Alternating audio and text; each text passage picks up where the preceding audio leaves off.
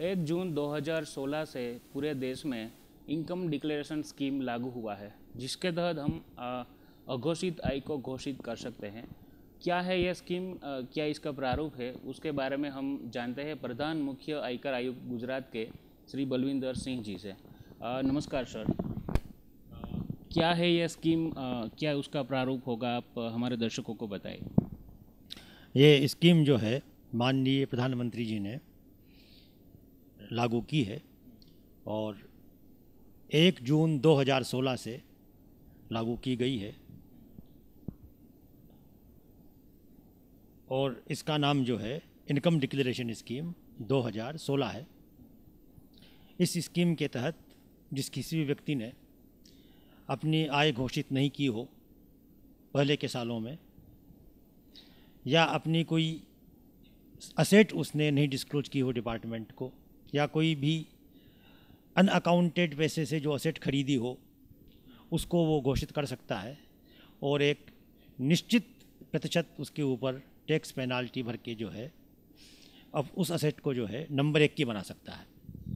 आ, sir ये scheme के तहत किस प्रकार की आय को वो घोषित कर सकता है और क्या टैक्स या पेनल्टी उसमें लगेगी? और जो इस स्कीम के तहत जो है किसी भी प्रकार की आय को घोषित कर सकता है हर तरह की इनकम जो है, इनकम टैक्स में चार्जेबल है।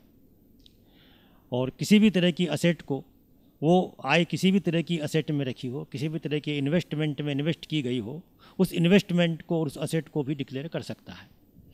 और इसके ऊपर जो है, कुल कर जो है पैंतालीस प्रतिशत आएगा, उसमें तीस प्रतिशत इनकम टैक्स है, साढ़े सात प्रतिशत जो है, वो कृषि कल्याण कर है, और साढ़े सात प्रतिशत पेनाल्टी है।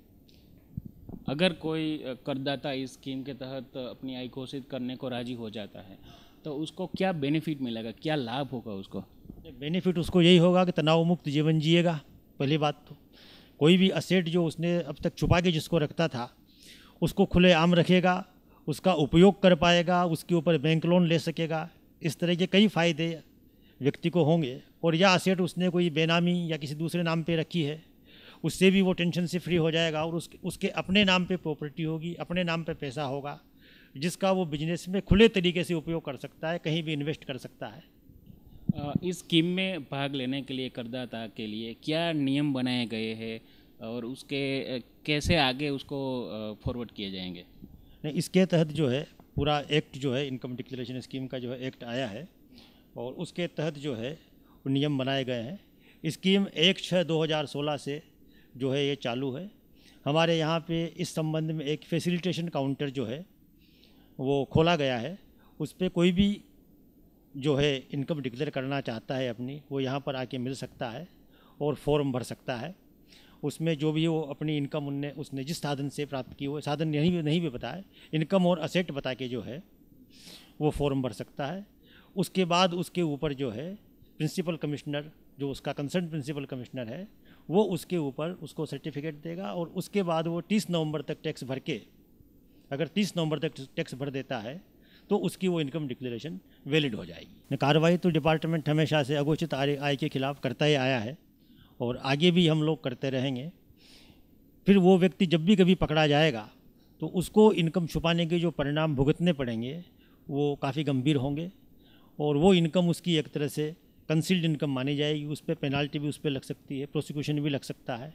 इस तरह के सारे जो कंसिक्वेंसेज इविल कंसिक्वेंसेज जो एक्ट में है, वो अगर उसने डिक्लेयर नहीं किया अभी जो है तो उस फेल्योर की वजह से उसको भुगतने पड़ेंगे।